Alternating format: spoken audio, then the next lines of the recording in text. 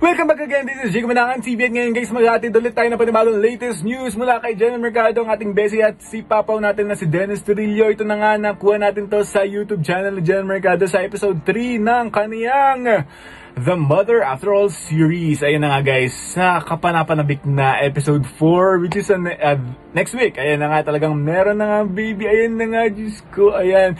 So, uh, feeling ko guys, malalaman na kung anong gender gender talaga ng um, uh, pinagbubuntis na Jeneline Mercado. And we are all very excited for it. May bump na talaga si Jeneline at sana, sana everyday healthy siya. Uh, Siyempre, uh, okay yung condition niya, di ba? Dahil nga, we all want for the best uh, for General Mercado. At yun na nga guys, itutuloy ko lang dahil nga syempre after nga nung locking taping, eh talagang kailangan na talaga niyang magpaalam muna pansamantala at titigil muna ang taping, uh, baka mag-resume na after giving birth.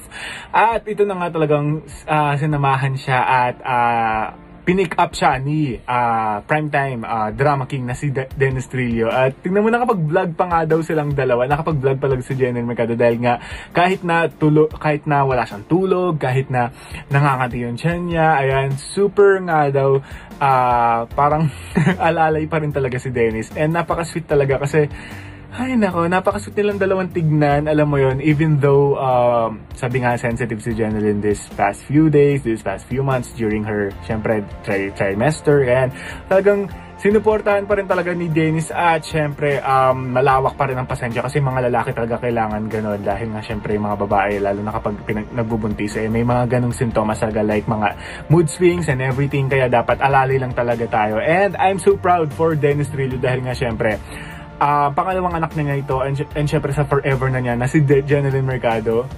And we're so very happy talaga na looking forward tayo sa mga next vlog nila na ipapakita at i-share niya sa ating mga fans nila guys na syempre mga Dungeon addicts dyan guys kaway-kaway tayo dyan dahil nga ay nako, I can't wait for it. I can't wait for uh, next week para mapanood natin ng episode 4 at kung I'm looking forward to it. And ito na nga guys, sana malaman na kung, kung anong gender dahil nga parang malalaman na ata natin, di ba? Kaya abang-abang na lang tayo. Hopefully, hashtag baby girl, hashtag baby girl sana tayo for Dengen guys. And I'm looking forward for another after all uh, episode. Kaya abang-abang na lang natin dyan guys. Ay nako, sino ba excited? Siyempre lahat naman tayo, di ba? Kaya Ayan, comment now, comment down guys sa mga, so, comment down below sa mga excited, sa mga, ay nako, excited katulad ko. Ayan na nga. So, and that's it guys. Thank you for watching. Don't forget to like and subscribe. Hashtag Dungeon Forever. Thank you.